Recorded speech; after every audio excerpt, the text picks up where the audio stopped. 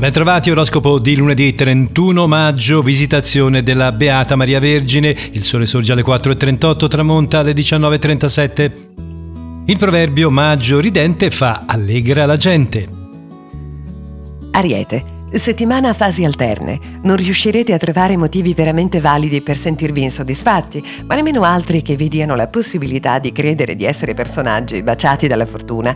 Quindi abbandonatevi sull'onda dell'umore, sarà la cosa migliore in ogni senso. Toro, vi sentirete particolarmente ansiosi anche per una serie di contrattempi che vi daranno un certo senso di insicurezza.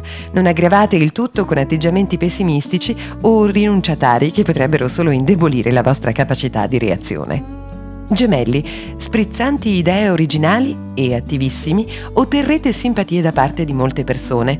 Potrete essere fieri di voi stessi e del vostro temperamento così trascinatore che tenderà a coinvolgere chi è intorno a voi. Potrete togliervi uno sfizio al quale da tempo state pensando. Cancro. La settimana trascorre su binari di serena tranquillità. Soprattutto i rapporti con la famiglia saranno sin da oggi posti sotto buone influenze. Tenderete a privilegiare la vostra intimità a tutto ciò che riguarda i rapporti sociali. Dolce pigrizia e benessere interiore accompagneranno questa giornata. Leone, scontenti un po' di tutto, vi ritroverete spesso a dover fermare a tutta velocità per le parole che a volte spontaneamente vi potrebbero uscire dalla bocca, offendendo qualcuno anche solo per il tono da voi usato. Non peggiorate le situazioni pensando alle occasioni migliori perdute. Vergine, nonostante i vostri sforzi, il malumore non vi darà tregua. Di positivo ci sarà un continuo controllo da parte vostra per non far trapelare tutto ciò che non vi piace in questo momento, così rischierete di ottenere un senso di disagio fisico. Fate dello yoga. Bilancia. Venere vi strizza l'occhio dallo zodiaco, inviandovi note di seduzione terribilmente affascinanti. E i sentimenti, il corteggiamento, il gioco dell'amore vi vedranno ricchi di fantasia e di gioia di vivere. Relegate in secondo piano l'aspetto del lavoro o di eventuali altri impegni.